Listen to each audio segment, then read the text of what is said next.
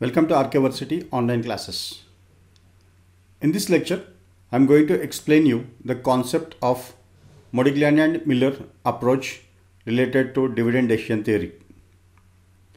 Modigliani and Miller proposes that the dividend payout ratio, that is whether the dividend payout ratio is 0% or 100%, it has no impact on market value of the firm.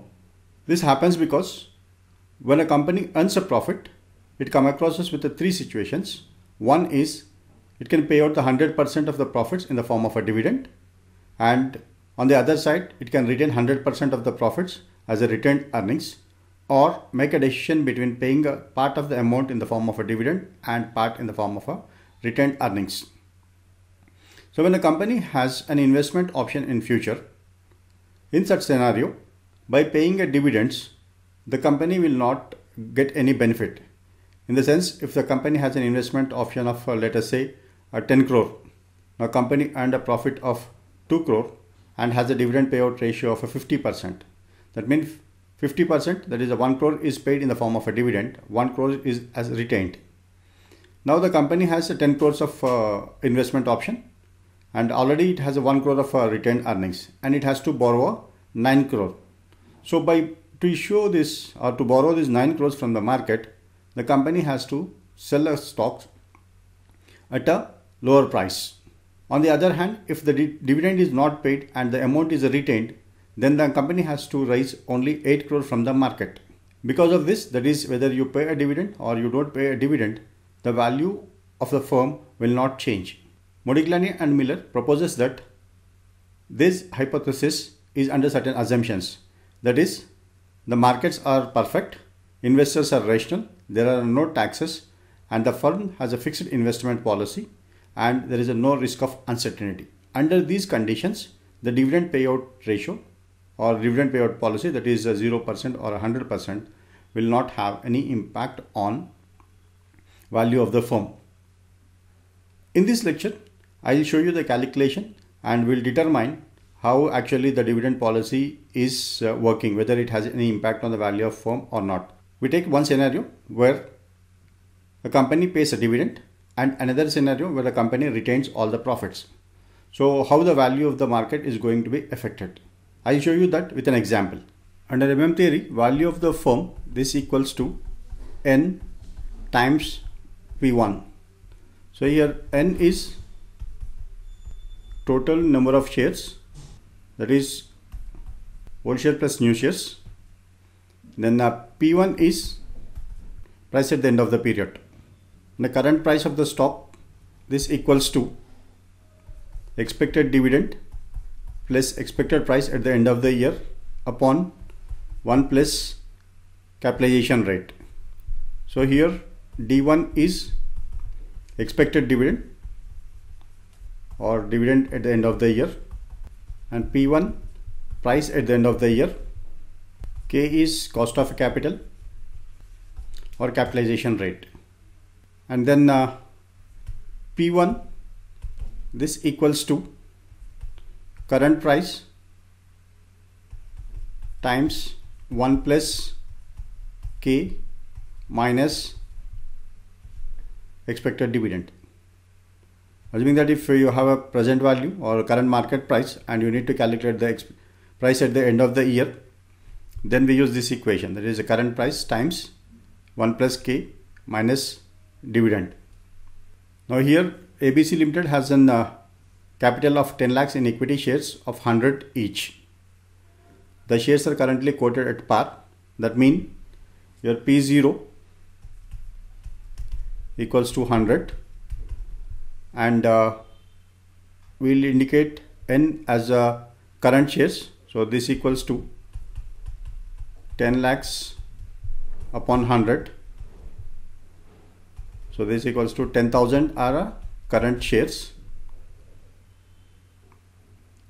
Then the company proposes to declare a dividend of rupees 10 so proposes to declare that is expected dividend d1 this equals to rupees 10 and the capitalization rate of the firm class uh, to which the company belongs is 12% your K equals to 12 percent.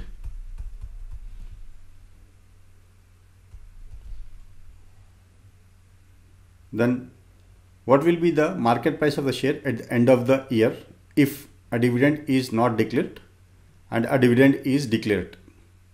So first we calculate these two. One is if dividend is not declared then a dividend is declared. So if dividend is not declared, then P1 this equals to PO times 1 plus K. So this is current price is 100. This times 1 plus 12% that is 0.12.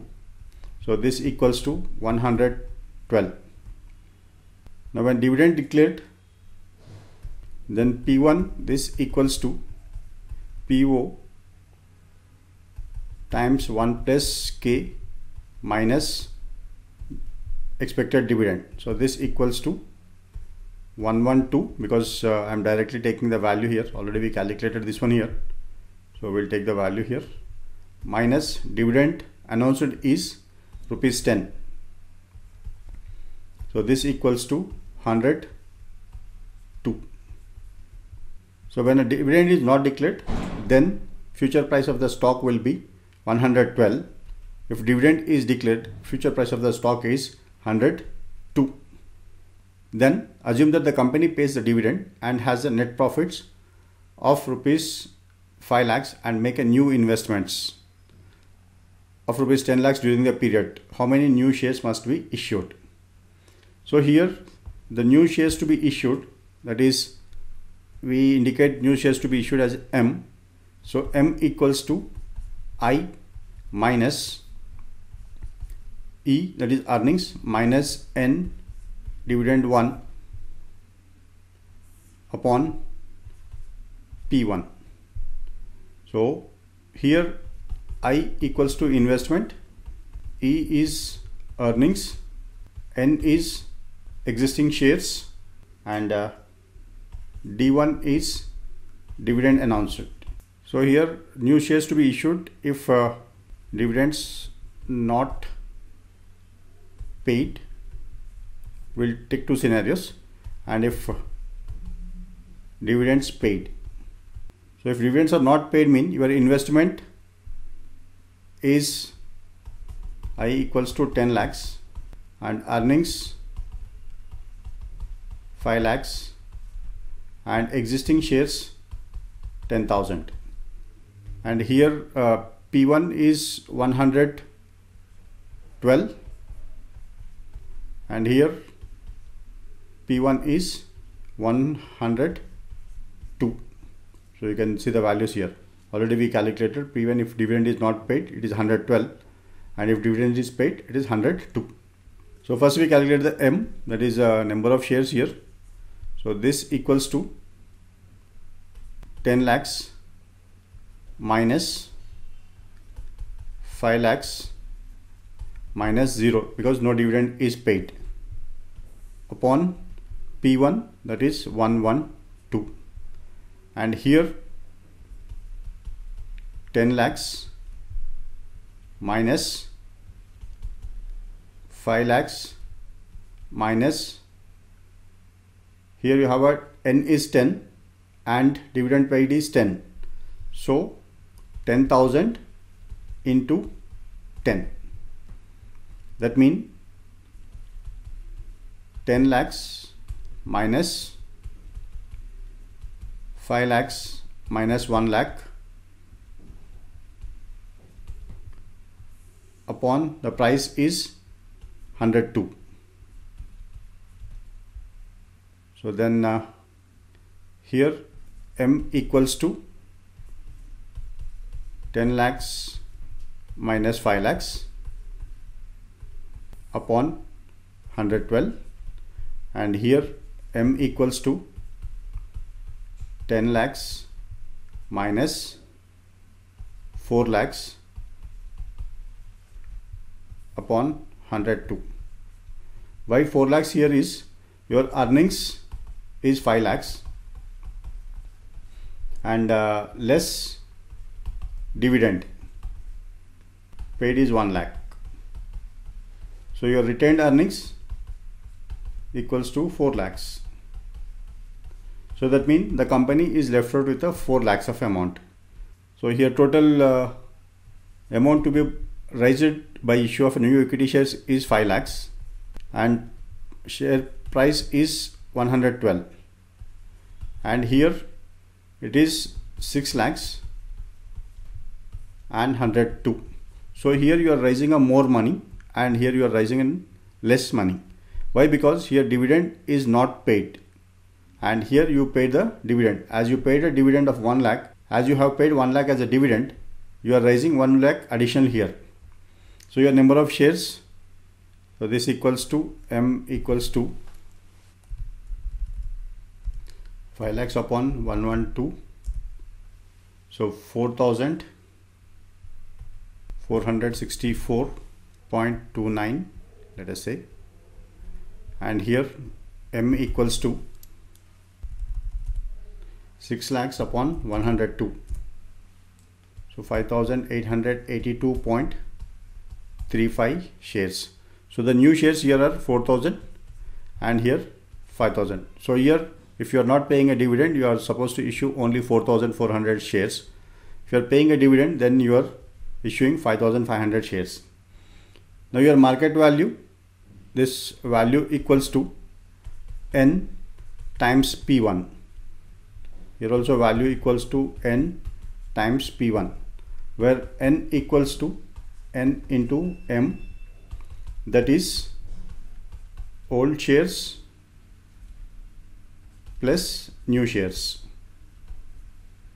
So in our case old shares are 10000 10000 are existing shares.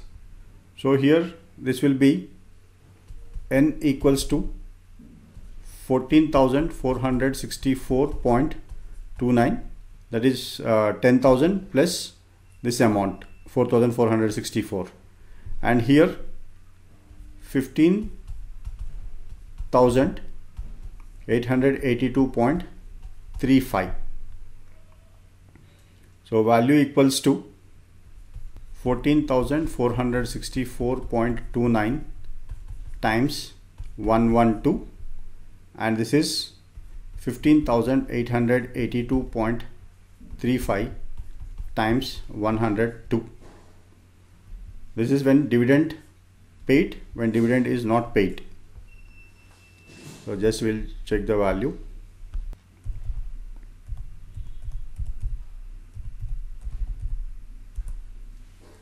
so value equals to 16 lakhs 20,000 rupees. And here value equals to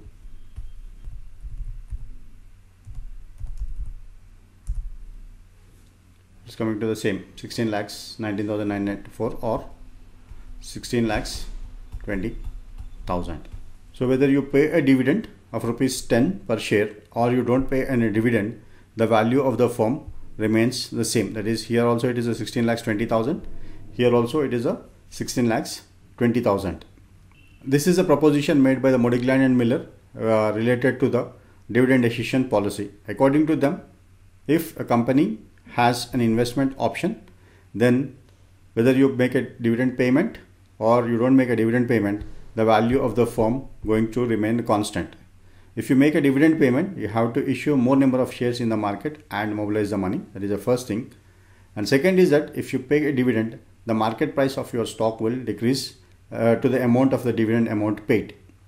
If you are not paying a dividend, then you have to issue less number of stocks. At the same time, market price of the share will also be high.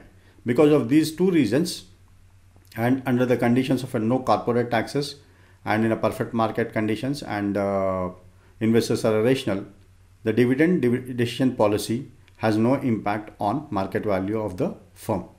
Thank you. Thank you for watching the lecture.